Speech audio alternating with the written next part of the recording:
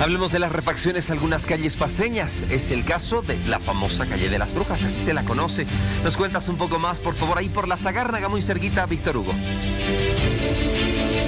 ¿Cómo estás, Héctor? Sí, una vez más nos hemos trasladado hasta este lugar. Es la calle Santa Cruz, la Zagárnaga, la Linares, incluso la calle Jiménez, donde se han visto varias viviendas, varias fachadas de estas casas refaccionadas, otras que han sido rehabilitadas, restauradas también en muchos casos. Es el caso de esta que te estoy ya mostrando, que se encuentra acá entre lo que es la calle Zagárnaga y Linares, que ha sido recientemente arreglada. Y es que desde el municipio se ha promovido de que se revalorice las fachadas de todo este sector altamente turístico.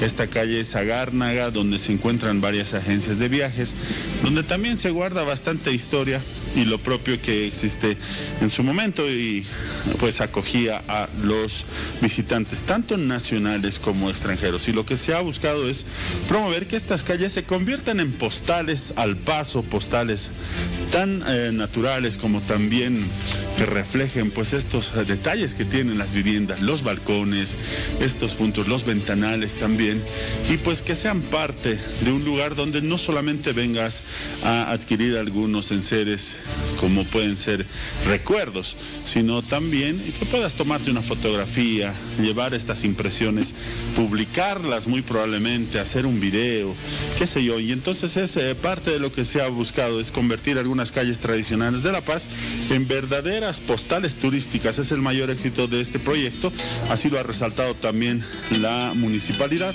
con la restauración de fachadas patrimoniales a través del eh, modelo integral de gestión cultural municipal, así se llama el programa. Mira, ya te estamos mostrando otros puntos, algunos dinteles de piedra que incluso resaltan, juegan muy bien con los colores entre el muro, las puertas, y bueno, todo lo que te estoy mostrando, Héctor. El muro, las puertas, los cables, que es creo la única parte feita que todavía se está criticando. Gracias, Víctor Hugo Rojas.